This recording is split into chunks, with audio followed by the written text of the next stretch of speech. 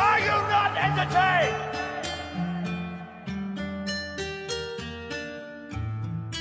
Is this not why you are here?